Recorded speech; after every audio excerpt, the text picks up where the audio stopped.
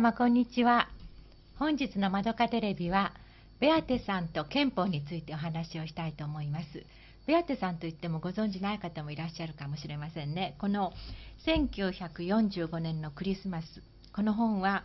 えー、ベアテさんの自伝なんですが日本国憲法に男女平等を書いた人なんです。GHQ で憲法を起草された時にたった1人22歳の女性がいたんですがそれがベアテさんでそのベアテさんの、えー、ゆかりのお二人に今日は来ていただいております。赤松涼子さんと落合涼さんです。赤松さん、えー、ベアテさんとの思い出といいますかどんな思い出があるかちょっとお話ゆかりのお話をしていただけたらと思いますが。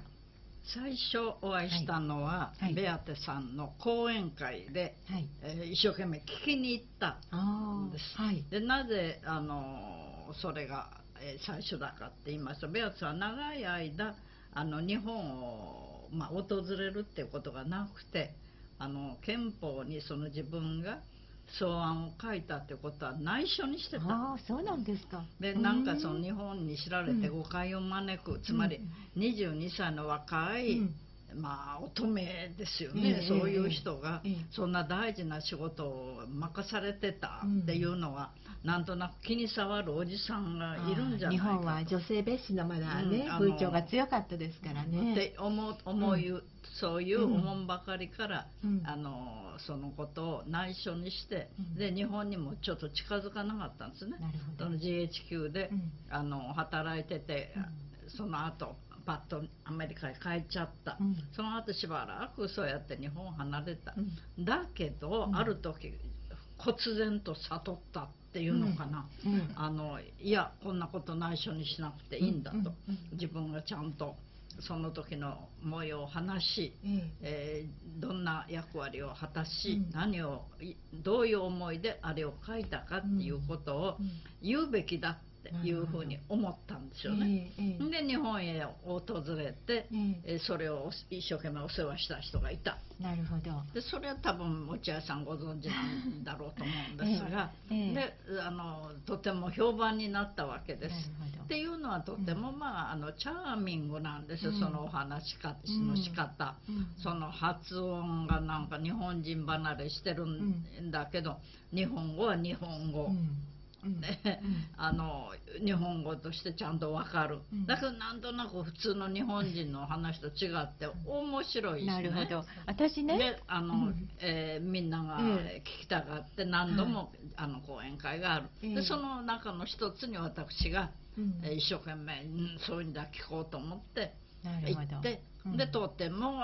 よかったと思って。あの方は素敵な人だって、で内容ももちろん感動したし、でそれ以降彼女を注目するようになりました。なるほど。赤松さんといえば今この後ろの画面に出てるんですがもう労働省で大変活躍なさってそして細川内閣の時には、えー、文部大臣もなさいました。その憲法24条というものを、まあ、ベアテさんが作られてその後ずっと戦後女性のまあえー、リーダーとして頑張ってこられたんですけれどもやっぱりそういうベアテさんの憲法24条の影響はすごくあったと思いますか？憲法24条があったればこそ、うん。ええ、私は国家公務員として、ちゃんとまあまあ少しは差別もあったけど、ええ、でもなんとか工夫されて、ええ。国局長にもなり、均等法を作るような大事な仕事もできた、これは赤松陽子先生の均等法を作るという本ですが今私たちも若い女性もしっかり働いていけるのも、えー、先生が労働省で頑張ってこられた。先生って言っちゃ叱られちゃいますけれども、うん、というのもありますよね。そういうことができたのは、うん、憲法の、憲法24条のおかげですから、えーはい、14条、24条がとても私にとっては、えー、もう、あ本当にあのもうセンクスって感じですよね。えー、そうですね。で、私もこの本読んだ時に、そもそもえー、ベアテ・シロタ・ゴードンっておっしゃるからシタって割と日本の名前に多いじゃないですか。城お城の城、ね、そうそうそう。だから、ね、うん、GHQ にその日本人とアメリカ人のハーフの人がいたのかしらなんて思ったんですが、ロシア人の名前そうですね。大変有名なリストの再来と言われたピアニストの娘さんとして、うんうんえー、ウィーンで生まれたけれども5歳で日本にいらした、うん、でそのゴードンさん、まあ、ベアテさんと大変個人的にもお付き合いなさってた落合亮さんですが、はい、えー、どういう思い出がありますか、もうベアテさんに関してはあまりにも思い出が多すぎてですね、はい、どれから語っていいかわからないぐらい、でも今の話の続きで言いましたらこれ、はい見えますかしら？あのベアテさんが5歳の時に、あの日本に来た。で見えないかもしれないですね。こっちの辺かしら、えー、5歳の時に日本に来た時の写真です、はい、それで山田耕作さんが、レオ・シロタユダヤ人ですから、ヨーロッパにおいては危険だということで、あのご一家を日本に来ていただいた、であのえー、今の芸大の先生にレオ・シロタはなったわけですね、それで日本でピアニストあの園田貴弘さんとか藤田春子さんとか、その他いっぱいあの育てになったんですよ、はい、この方は。なるほど。で今、これ落合さんとベアテさんのお写真です、そちらの方はそうですね,、はい、そうですね。えー、えー、と今写ってるのは、これ1995年に、あの私が応援していた作曲家三木実さんから、三木実さんってこの方ですけども、はい、この方から、はい、あのお電話をいただいて「ベアちゃんって知ってる?」って言われて「はっ」と言ったら、そしたらこういう方だけど1日空いてるから講演会を企画してほしいと言われて、で私の友人と共にあの早速企画いたしまして、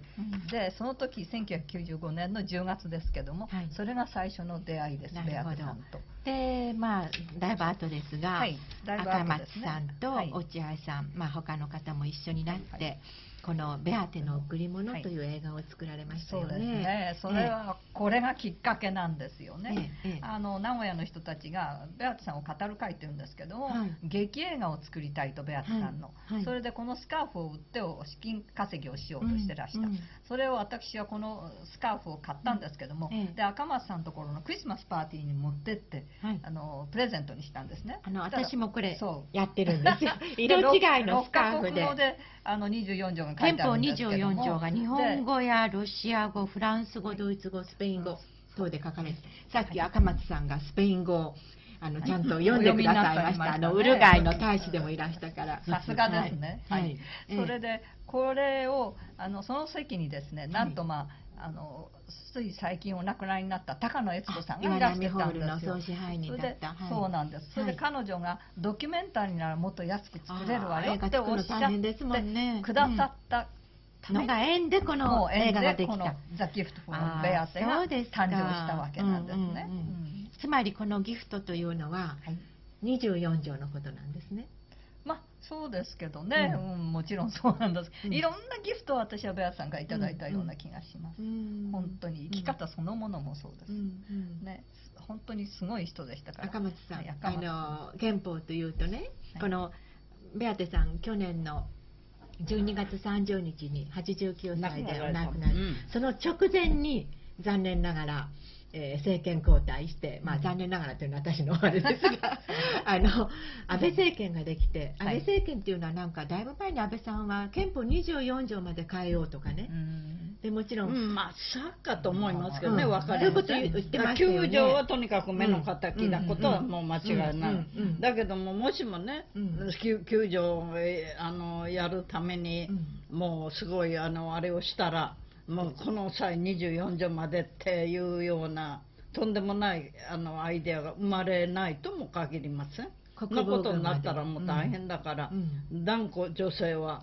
それを防ぎましょう。そうですよね。で、さっき赤松さん、あの押し付け憲法だって言われるけど違うよっておっしゃってたじゃないですか。いや押し付けっていうのはね、嫌なものを押し付ける時に使うんで、いいものをあげる時に押し付けなんていう言葉は使わないもんなんですよね。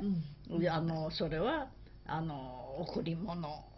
差し上げるってあのあげましょうって言うんで、押し付けるとは決して言いませんね。でこの憲法私たちにとっては素晴らしいものだから、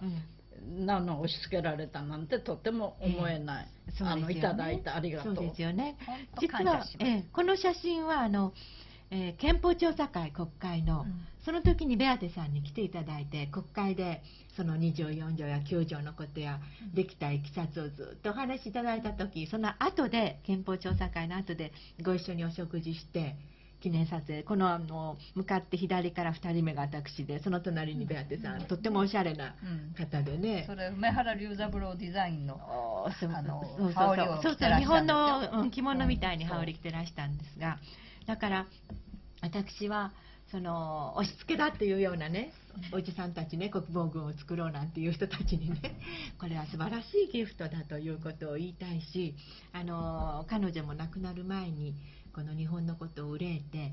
あの平和憲法そして24条の女性の人権これはもう日本の宝物だからもうぜひこれを大事にしてほしいと、まあ、遺言のようにおっしゃったって聞いてるんですが。平和と平等っていうのがこの憲法のね、車の両輪だと思うんですよ、でもどちらもね、平和がななくなったら平等もなくなる。平等のないところに平和もないというのがね市川房枝さんもベアテさんとなんかアメリカでお会いになってますね、それで今のようなことをおっしゃってますよね。うん、うんあの市川さん、はい、本当に懸命にあのアメリカにいらして、はい、いろんなことをもう吸収されそれで日本のことを宣伝でお話しなさったんですね、それでベアトさんがすごく惚れ込んで、やっぱりサポートして差し上げた方ですね。今度あのお二人はこの「ベアテの贈り物」の映画をお作りになっただけじゃなくて3月30日にその亡くなられたベアテさんを偲ぶ会をなさるそうですが、えー、田町で3月30日、はい、田町のあ駅のそばの女性就業支援センターというんでしょうか、はい、そこで1時からなさるそうですね、はい、この贈り物の映画も見られるんですね。上映なさるんですね。まず映画をやって、はい。であのその後あの大勢の人たちが壇上でベアテを忍ぶ言葉をみんなで言おうっていうわけ、はい、じゃあ忍ぶだけじゃなくて私たちはこのしっかり憲法24条とそして平和憲法を、えー、私たち女性が引き継いで守り抜いていかなければいけないという前向きにね。そうですねだから会場にいらっしゃる若い方なんかがそういうことを発言してくださったら嬉しいなとね、そうですね。あの大勢の人にベアテさんのこと、そしてこの憲法のことを知ってもらって、ということが一つの目的なわけですね。私たち年寄りは、本物のベアテさんをしてんだからそれをこんなんだったよこういう思いをっていうことを若い人に伝えたい、で若い人はちゃんとそれを受け止めてもらいたいと思ってわ、かりました今日はどうもありがとうございました。